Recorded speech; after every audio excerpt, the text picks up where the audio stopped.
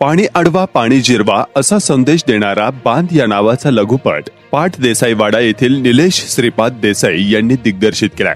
या लघुपटातून त्यांनी मोठ्या प्रमाणावर पाऊस पडूनही पाणी अडविले जात नाही.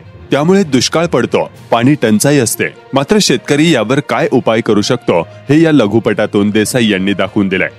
या लघुपटातील कलाकार हे शेतकरी असून चित्रीकरण पाट या गावातच झालंय.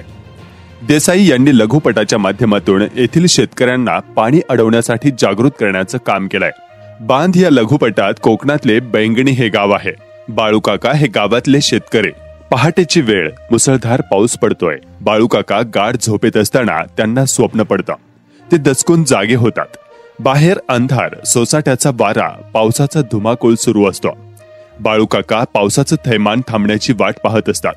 याच वेळी बाळूकाकांचा बांध बांधण्याच्या कल्पनेचा प्रवास सुरू होतो. हळूहळू प्रत्येक शेतकरी यामध्ये सामील होतो. अखेर बांध बांधून पूर्णही होतो. पाणी पूर्ण क्षमतेने अडवले जाते. समाजसेवक अण्णा हजारे यांचे असिस्टंट रोहन केशवर हे देसाई यांचे मित्र. सहज गप्पा करताना पाणी अडविण्यावर आपली चर्चा सुरू असते. त्यावेळी रोहन याने आपणास एखादी स्टोरी तयार करण्याचे सूचित केले.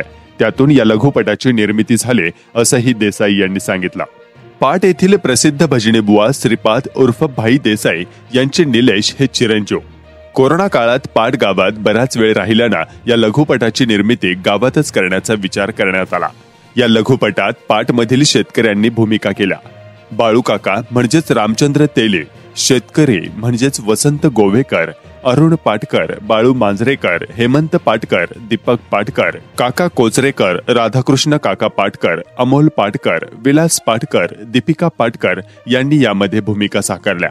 देसाई यांच्या मार्गदर्शनाखाली कॅमेरामनची जबाबदारी स्वप्ना खोरजुवेकर या स्थानिक मुलीने सांभाळली आहे. निर्माता वसंत गोवेकर तर दिग्दर्शन निलेश देसाई यांचा आहे. हा लघुपट दिवाळीमध्ये प्रदर्शित होणार आहे.